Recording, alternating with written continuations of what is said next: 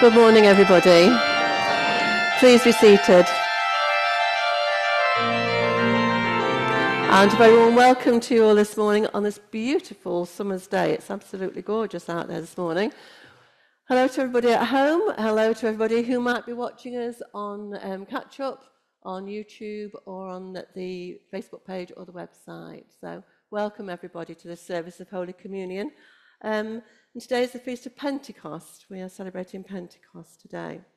Um, just before we start our worship, I just want to say I know um, one of the church wardens will probably mention it again later, but I just want to add my thanks as well to everybody who helped with the flower sale yesterday, the plant sale. It was absolutely amazing. I've never been involved in the plant sale here before, but it, the, the number of plants that were there was astounding, and the number of people. And what got to me most was the fellowship everybody all working together, all sort of coming with our cars, loading them up, and then going out to see all these people and delivering the plants. It really was a lovely atmosphere. So thank you very much, and especially to Gail and Lawrence, because they put so much hard work into it. Thank you all.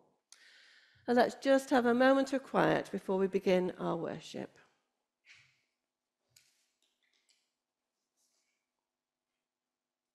Alleluia, Christ is risen is risen indeed. Alleluia. For I will take you out of the nations, I will gather you from all the countries, I will give you a new heart and put a new spirit within you. Come from every corner of the earth, from every time and place, from south and north. For the Spirit of God is being poured out upon us in this place the men and women. So let's stand and sing, Breathe on me, breath of God.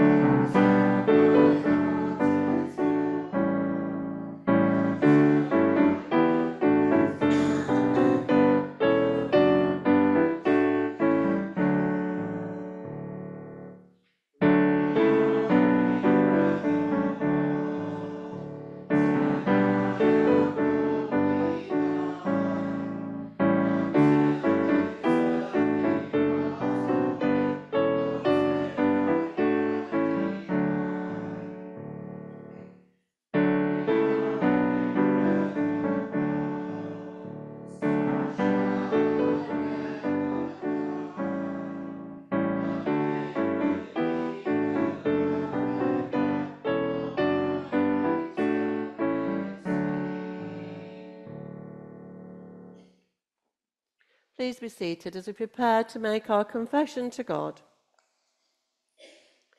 Jesus said, When the Holy Spirit comes, he will convict the world of guilt in regard to sin. In different ways, we have grieved the Holy Spirit and so confess our sins in penitence and faith. God our Father, we come to you in sorrow for our sins, for turning away from you and ignoring your will for our lives. Father, forgive us. For behaving just as we wish without thinking of you. Father, forgive us. Help us by your Spirit. For failing you by what we do and think and say. Father, forgive us.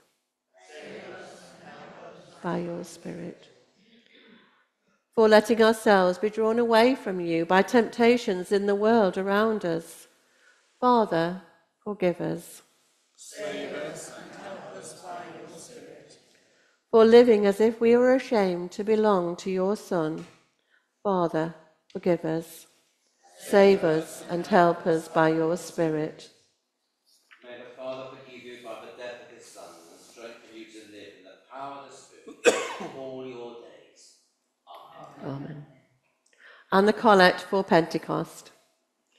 God, who has at this time taught the hearts of your faithful people by sending to them the light of your Holy Spirit, grant us by the same Spirit to have a right judgment in all things and evermore to rejoice in his holy comfort. Through the merits of Christ Jesus our Saviour, who is alive and reigns with you in the unity of the Holy Spirit, one God, now and forever. Amen. We'll have our first reading. Thank you, Pam.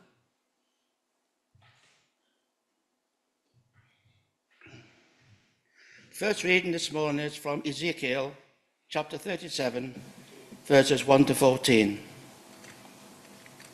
The hand of the Lord was on me, and he brought me out of the Spirit of the Lord and set me in the middle of a valley. It was full of bones. He led me to and fro among them, and I saw great many bones on the floor of the valley, bones that were very dry. He asked me, Son of man, can these bones live? I said, Sovereign Lord, you alone know. Then he said to me, Prophesy to these bones and say to them, Dry bones, hear the word of the Lord. This is what the sovereign Lord says to these bones I will make you breathe, breath enter you, and you will come to life. I will attach tendons to you and make flesh come upon you and cover you with skin. I will put breath in you, and you will come to life. Then you will know that I am the Lord. So I prophesied as I was commanded, and I was prophesying there was a noise, a rattling sound, and the bones came together, bone to bone. I looked, and tendons and flesh appeared on them, and skin covered them, but there was no breath in them. Then he said to me, Prophesy to the breath, prophesy, Son of Man, and say to it, This is what the sovereign Lord says Come, breathe from the four winds and the breath into these slain, and they may live. So I prophesied it as he commanded me, and breath entered them. They came to life and stood upon their feet, a vast army. Then he said to me, Son of man, these bones are the people of Israel.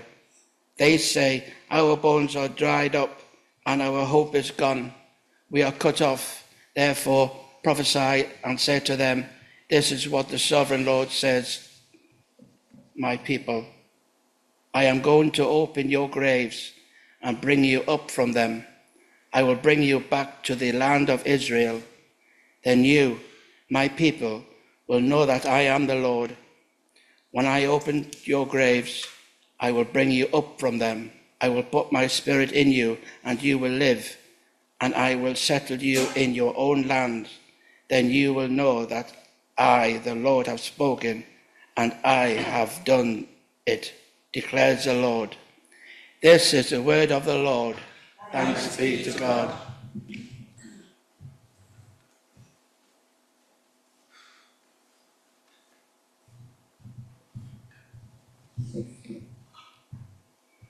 The New Testament reading is taken from Acts chapter 2, verses 1 to 21. When the day of Pentecost came, they were all together in one place. Suddenly, a sound like the blowing of a violent wind came from heaven and filled the whole house where they were sitting. they saw what seemed to be tongues of fire that separated and came to rest on each of them. All of them were filled with the Holy Spirit and began to speak in other tongues as the Spirit enabled them. Now they were staying in Jerusalem God fearing Jews from every nation under heaven. When they heard this sound, a crowd came together in bewilderment because each one heard their own language being spoken. Utterly amazed, they asked, Aren't all these who are speaking Galileans? Then how is it each of us hears them in our own native language? Parthians, Medes and Elamites, residents of Mesopotamia, Judea and Cappadocia Pontus and Asia, Phrygia and Pamphylia, Egypt and the parts of Libya near Cyrene. Visitors from Rome, both Jews and converts to Judaism, Cretans and Arabs. We hear them declaring the wonders of God in our own tongue. Amazed and perplexed, they asked one another, What does this mean? Some, however, made fun of them and said, They've had too much wine. Then Peter stood up with the eleven, raised his voice, and addressed the crowd Fellow Jews, and all of you who live in Jerusalem, let me explain this to you. Listen carefully to what I say. These people are not drunk, as you suppose. It's only nine in the morning. No, this is what was spoken by the prophet Joel. In the last days, God says, I will pour out my spirit on all people. Your sons and daughters will prophesy. Your young men will see visions. Your old men will dream dreams. Even on my servants, both men and women, I will pour out my spirit in those days, and they will prophesy. I will show wonders in the heavens above and signs on the earth below blood and fire and billows of smoke. The sun will be turned to darkness and the moon to blood before the coming of the great and glorious day of the Lord. And everyone who calls on the name of the Lord will be saved.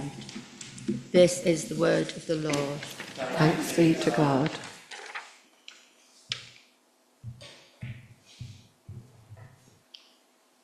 Please stand if that's comfortable for you. And our second hymn this morning is Spirit of God, as strong as the wind.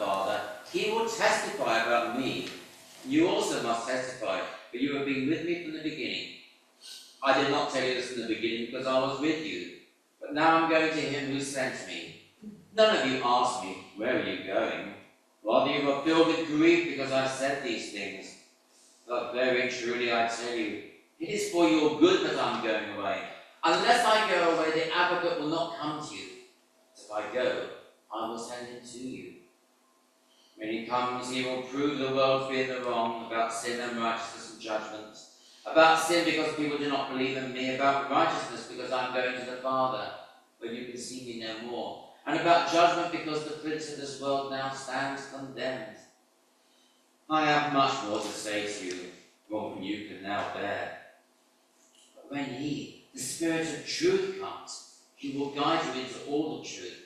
He will not speak on his own. He will speak only what he hears, and he will tell you what is yet to come. He will glorify me because it is from me that he will receive. He will receive what he will make known to you.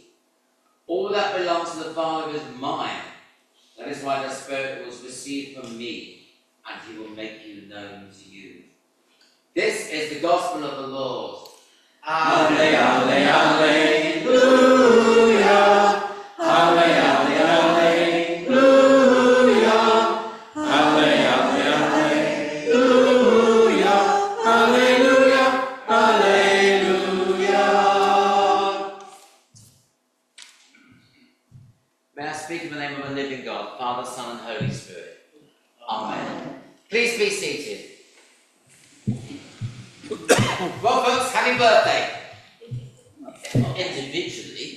birthday, I'm not celebrating that this morning.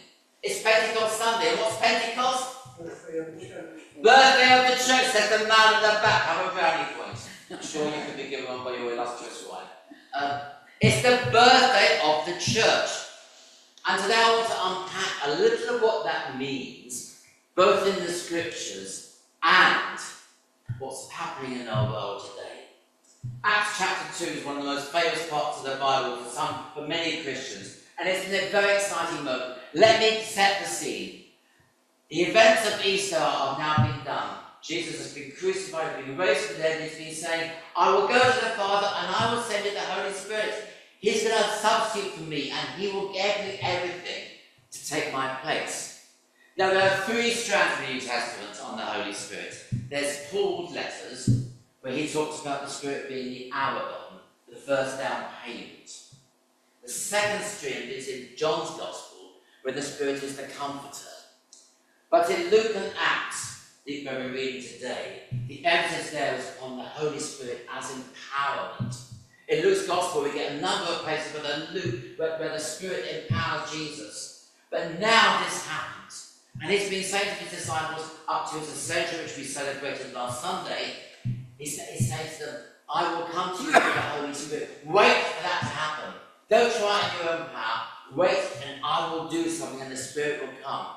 So, in Acts chapter 1, it's very interesting. Luke actually tells us, well, who were the disciples? Well, first of all, there were 12. Oh, yes, and then there were also the women who supported him. And actually, there were about 120 extra. So, we're talking about a lot of people. And on the day of Pentecost, they're all in one place. And they're sort of expecting something, but don't really know what it's going to be. And boom, at that point, the Spirit comes. Now, this isn't some sort of nice, gentle, spiritual. It says a wind blew, not a gentle summer breeze. It's a violent wind. And something like fire comes through.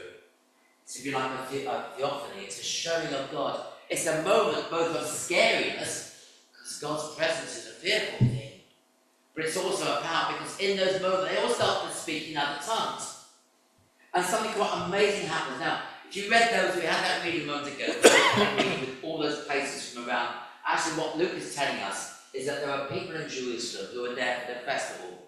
Um, Pentecost is 50 days after Passover. The Old Testament tradition and the rabbinic tradition was it was a celebration of when God's word would eventually, the Torah, go out to all peoples. And now this begins to be made true.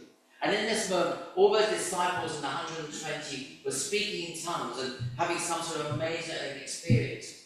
And there were Jews, these were not Gentiles, these were Jews, but these were cosmopolitan Jews. They weren't just the locals, they were folks who lived all over the Mediterranean world. They were the folks, you know, they were the jet set of their time, if you like. They've come to Jerusalem. And they hear this, this Jesus sect, or whatever they are, and suddenly, well, we thought that was all over. He's dead? But suddenly, there they are. They're out on the streets, and people are saying, well, they've had a few, haven't they? You know what I mean? Nine o'clock in the morning can't so far. Maybe they're drunk. But there's some sort of religious experience happening there. And there's a sense of authenticity. Because people see what they're doing and they're thinking, this doesn't make any sense, I can't understand it. And they can say, can someone explain what's going on? The first Christian sermon happened not because there was a rota. The first Christian sermon happened because people were asking questions. I mean, the disciples were saying, hey Peter, it's your turn, get up big fella and start giving us some of the answers. And Peter gets up that front and saying, this is what was promised through the prophet Joel, that God's Spirit would be poured out. And he shares this with these Jews who are from all over the Mediterranean. And it says later on that over 2,000 were converted that day and baptized. I think it was more than that. And then you see the beginning. And in the book of Acts, there were several places where the Holy Spirit comes. And there's a sense of God's presence. But notice, it isn't just, okay, it's a nice religious experience. When the Spirit comes, he then drives his people out into the world. He's sending them out as agents, as ambassadors, lights for Christ, if you like. And he's showing ways in which the Spirit is the enabler, the empower, the one, if you like, who fills up the batteries and enables God's people. And there's a sense in which the Spirit is also the disturber. He does new and amazing things. And in the book of Acts, everything flows from this moment, really, the, the, the, the giving of the Spirit. And the whole of Acts is really how the whole Jesus movement changes from Jerusalem through to Antioch and the other places, and then it goes around the whole Mediterranean. And it all goes back to here, little by little, it bursts out of its Jewish heritage alone and becomes for the Gentiles too. And that is shared through a number of stories in this way. But the whole thing starts with the Spirit. Now you might think to yourself, okay, that's 2,000 years ago, you know, that was in the Bible, but you know, it's not like that today, is it? Well, I just want to tell you a little story. Many people I discovered don't know any of this. Do you know what Pentecostals are? Okay, Pentecostals are a tradition in the churches. There's one down the road, isn't there? What's it called? Calvary. I think it's in the Pentecostal tradition.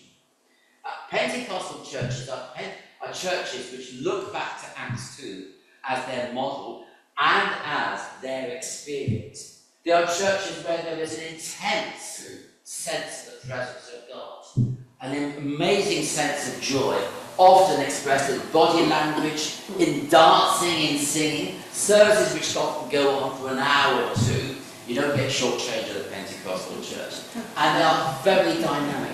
And they are exploding in growth around the world. May not be that big in this country, but in many parts of the world, they are the fastest growing part of the Christian world. I want to tell you the story about it. It all starts in 1905 with a man called William Seymour America. Uh, William Seymour was born with two challenges, if you like, in his life. One, he was disability. He was he was blind in one eye. You can imagine when he was at school, everyone called him names, etc. Secondly, he was black. Pentecostalism, by the way, is primarily a black experience on the global stage. It began in the black community. And this guy, he was a wonderful Christian. He applied to go to Bible college and they said no because you're black. And he eventually managed to turn, he was allowed to go to Bible college and whilst the students sat in the seminars, he sat outside in the corridor because he was black. But he did it. And then he went to a place called Azusa Street in Los Angeles and he took on a building and turned it into a church. And there was an amazing revival, basically 1906 to 1915, I think that's right. And I'm not quite sure how it happened, but there was an explosion of the Holy Spirit and of joy and of love and of worship and celebration. And people flocked in large numbers, huge numbers. And it caused a big stir because their music was often sort of very lively starts. Okay, I'll get give a give an example later on. Um, sorry, I couldn't, I help myself, could I? You were sitting duck on the front row, you really are. But spent the life, and, they end up dancing in the church. I don't mean ballroom dance, not strictly, I mean just jiggling around, you know, the, the sense of the spirit. And they cause a lot of problems because men and women dance together. Okay, not strictly, don't think that's more about like a cue celebration. And that caused a big stir in Los Angeles. And then something far worse. Black people and white people were dancing together. And that also caused a big stir. And the reputation of this church exploded beyond America across to Europe. And people came from all over the world to Azusa Street in Los Angeles and were touched by the Spirit. And as on the day of Pentecost, they then were sent out. I read a story once about two pastors uh, in a church in, in Sweden who were quite disillusioned. And they went out to Azusa Street in Los Angeles and had the Pentecostal experience. As a result of that, it wasn't, I had a nice time, I'll go back home. They gave up their jobs in Sweden and they both bought one-way tickets to Brazil and they went there and they started Pentecostal churches. And they never went back. And the other thing was when they got elderly, instead of saying, well, I'll go back there and get someone to replace me, they handed over the leadership to the Brazilians who, touched by the Spirit, were also into leadership. And, well, I'll never know the full story, but when I was a vicar in London, um, there was a, uh, a, a, a Brazilian Pentecostal church started down the road from me. They took over an old cinema because they don't think small they talk large numbers. There are no, as far as I know, there were no Brazilians in that part of uh, London. It was a Brazilian missionary church to the English people because the Spirit moves and it explodes where it wants to go. And there's an amazing thing about the Pentecostals is that something about the nature of that joy, that celebration, flows out and people catch it. Now, before I go any further, I better say there are lots of problems with the Pentecostal movement too. I could give you a whole list of mistakes and things that have gone wrong, you, know, you can criticise as well. But there's also a real sense, though, very often, that that joy swells up and the Spirit drives them out into the communities. Now, I'm not saying we have to be a Pentecostal church. I'm not planning to put up a disco ball up there. I'm not going to get Linda to start playing the drums on Sunday mornings. Maybe. Maybe. That's how good job. Um, but if all of us need this Pentecostal Sunday, this Pentecost Sunday, to just think about what happened all those years in Jerusalem, thank you, and what happened in Los Angeles 120 years ago, but it's still happening around the world. Because I'm totally Church of England, I'm going to be absolutely clear about that.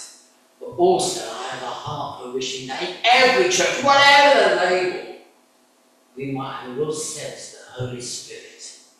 And in our worship, we can almost touch Jesus because his presence is so strong with the Spirit. And when that happens, and it, how it happens, it differs enormously from one church to another.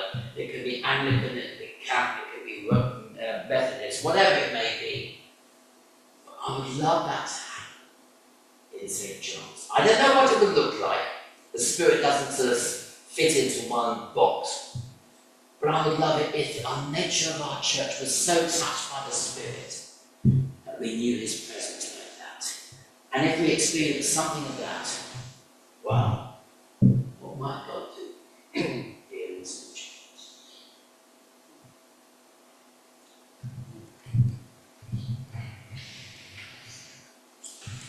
Thank you, Simon. So please stand and let's affirm our faith in God together by saying the short creed in our order of service. We believe in God the Father, from whom every family in heaven and on earth is named. We believe in God the Son, who lives in our hearts through faith and fills us with his love. We believe in God the Holy Spirit, who strengthens us with power from on high. We believe in one God, Father, Son, and Holy Spirit. Amen. Please be seated, and Gail will lead us in prayer.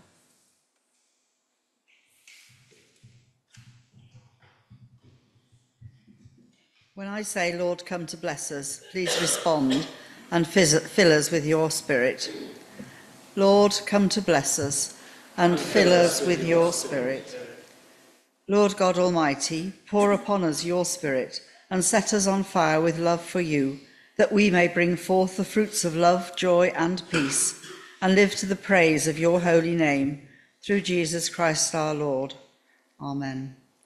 Holy Spirit, bringing order out of chaos, bring order to our actions and purpose to our lives.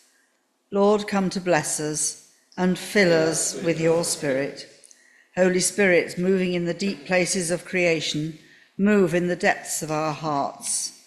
Lord, come to bless us and fill us with your Spirit. Holy Spirit, breathing life into all creatures, refresh, renew, restore your people. Lord, come to bless us and fill us with your Spirit. Holy Spirit, giver of all good gifts, help us to use our talents and abilities to your glory. Lord, come to bless us and fill us with your Spirit. Holy Spirit, giving life to dry bones, giving hope and joy to all who are weary, restore the lives which, which without you are dead. Lord, come to bless us and fill us with your Spirit. Holy Spirit, giver of love, kindle the hearts which without you are dull and cold. Fill your church, our hearts and minds, with love. Lord, come to bless us and fill us with your Spirit. Come, Holy Spirit, upon the newly baptized and all new Christians. Come upon the recently confirmed and all who are growing in their faith. Come upon all who are testing their vocations and all who are in new work. Come upon all bishops, priests, and deacons, upon all who seek to serve you. Come upon all who strive to proclaim your power and your presence. Come upon the powerless and the oppressed. Come, be known among the unemployed and exploited. Come and give comfort the anxious and the fearful. Come and give strength to the ill and the dying. Lord, come to bless us and fill us with your Spirit. We finish our prayer. Generous God, you sent your Holy Spirit upon Jesus at the River Jordan and upon his disciples in the upper room.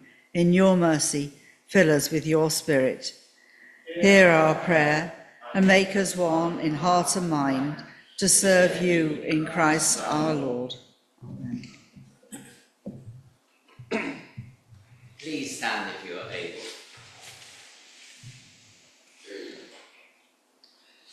The fruit of the Spirit is love, joy, and peace.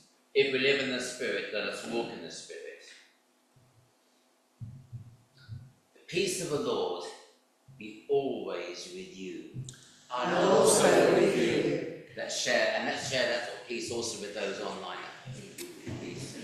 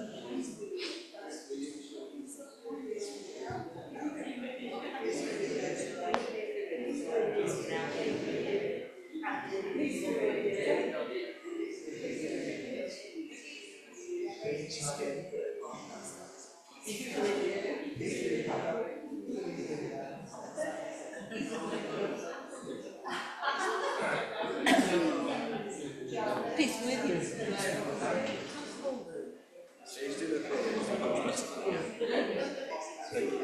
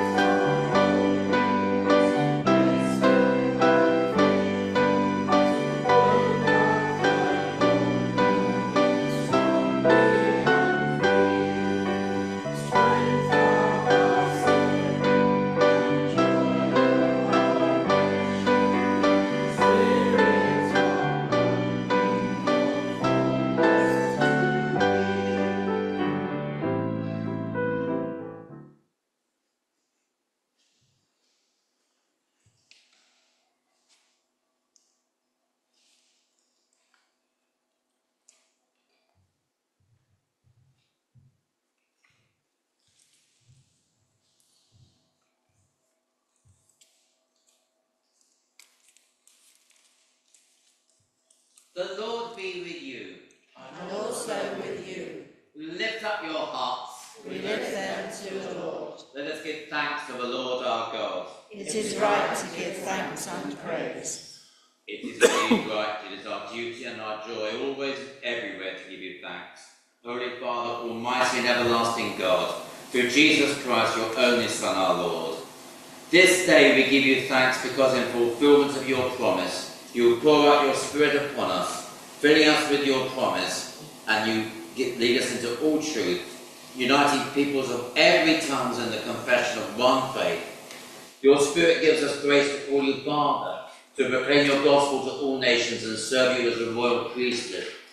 Therefore we join our voices with angels and archangels, and with all those in whom the Spirit dwells, to proclaim the glory of your name, forever praising you and saying, Holy, holy, holy Lord, God of power and might, heaven and earth are full of your glory. Hosanna in the highest. Blessed is he who comes in the name of the Lord. Hosanna in the highest.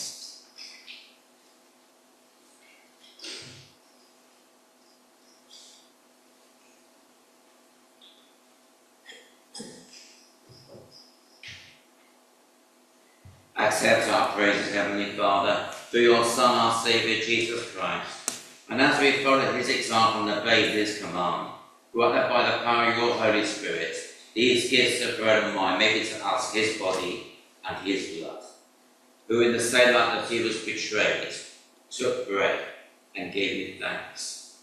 He broke it and gave it to his disciples, saying, Take, eat. This is my body which is given for you. Do this in remembrance of me.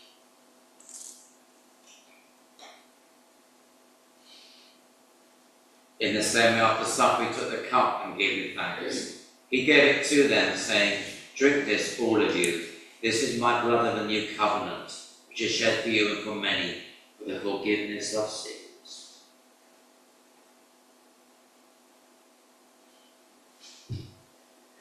Do this as often as you drink it in remembrance of me. Therefore, Heavenly Father, we who remember our, his offering himself may once for all upon the cross, we proclaim his mighty resurrection and glorious ascension. We look for the coming of your kingdom, and with this bread and this cup we make the memorial of Christ your Son, our Lord. Great is the mystery of faith. Christ has died. Christ is risen. Christ will come again. Accept through him our great high priest, this our sacrifice of thanks and praise. And as we eat and drink these holy gifts in the presence of your divine majesty, renew us by your spirit, inspire us with your love, and unite us in the body of your Son, Jesus Christ our Lord. Through him and with him and in him, in the unity of the Holy Spirit, with all who stand before you in earth and heaven, we worship you, Father Almighty, in song of everlasting praise. Blessing and honour and glory and power be yours forever and ever. Amen. We sit or kneel to pray the Lord's Prayer.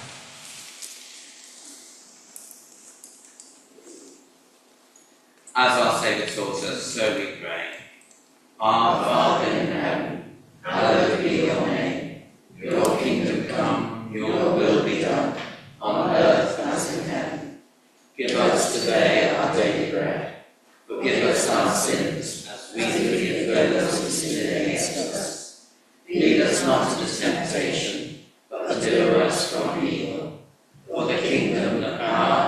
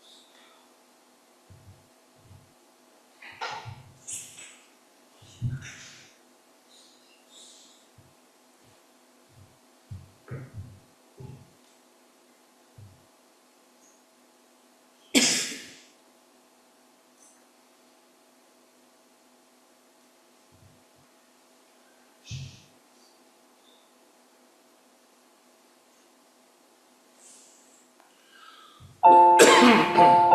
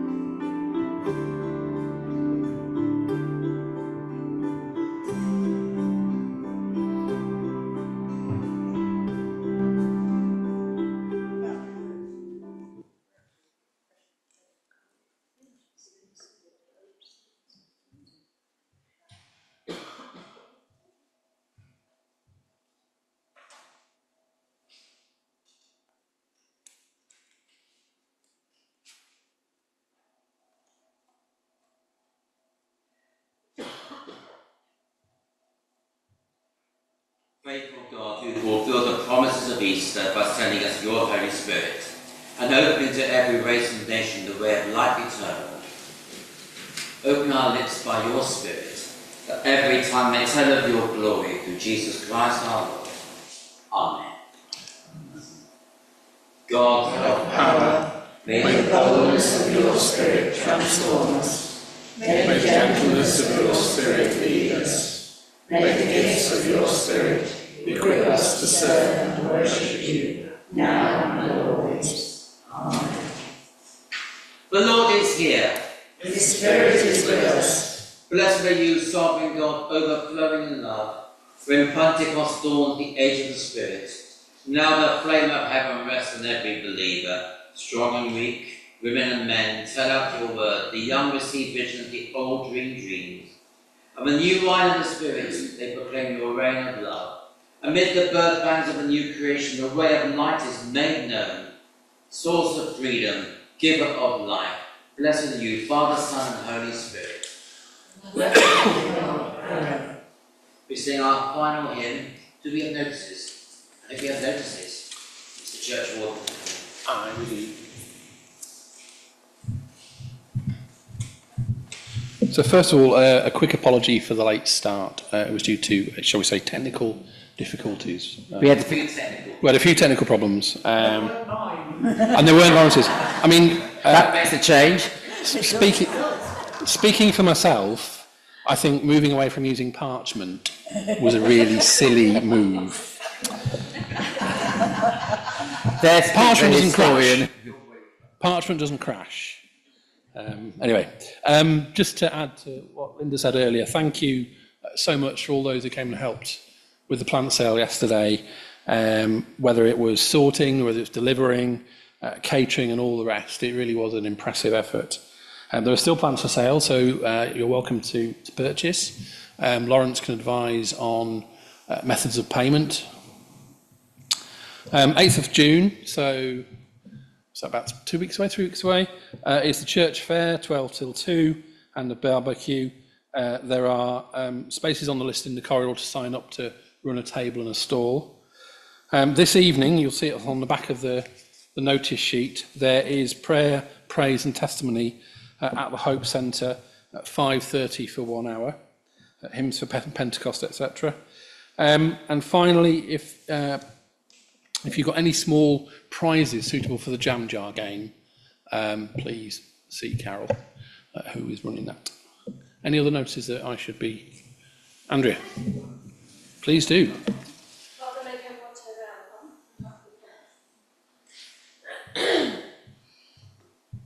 Um, so I think it's a really important one actually, uh, especially on today of Pentecost. I've been I've been sat at the back thinking about what I'm going to say, and I don't really know what I'm going to say. But um, I don't know if you remember, but on my first Sunday here, so like two weeks ago, um, Lawrence uh, had to head home and, and offloaded his his intercessions to me. I'm very happy to do. Um, but one of one of our congregation here came and asked, could we have prayer for baby Chloe? So we had a very special prayer that we, that we inserted for little baby Chloe, who was incredibly poorly at that time. Um, and so that individual has come to me this morning, uh, came to me last week and said that she's doing much better.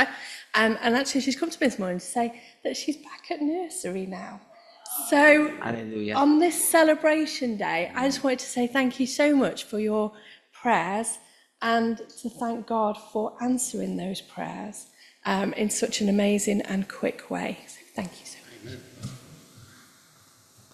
Thank you for that, Andrea. That is that is just wonderful. Can't say any more. Now we come to our final hymn, uh, Thou Whose Almighty Word. During the singing of the hymn, the light of the Easter candle is shared among the congregation. I've not been here for this service for some strange reason over the years, so I don't know quite what I'm doing. Hopefully Lawrence and Linda do, but that's not the point. We come forward, okay. Come forward and light your candle and So let's stand and sing the hymn. carry on singing.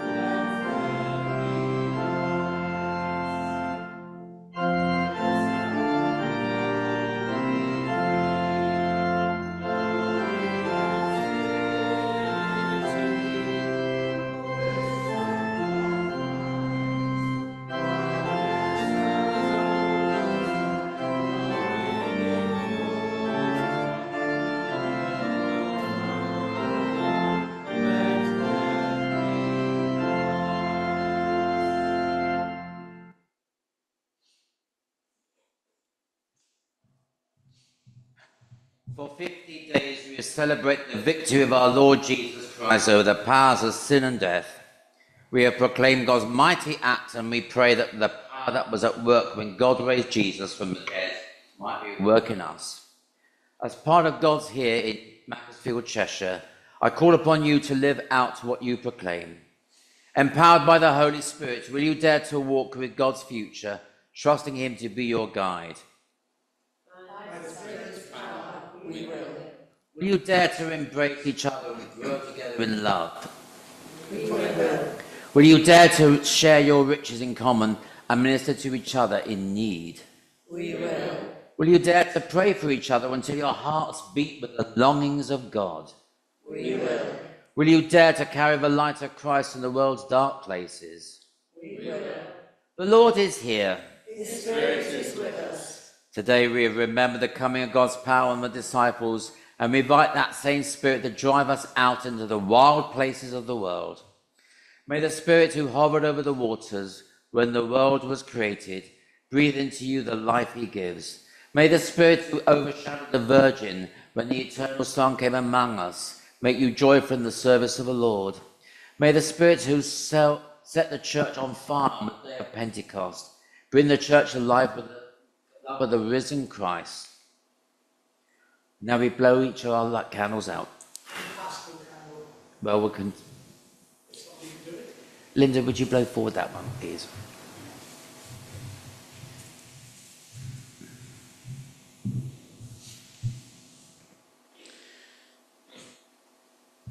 And the blessing of God Almighty, the Father, the Son, and the Holy Spirit be among you and remain with you always.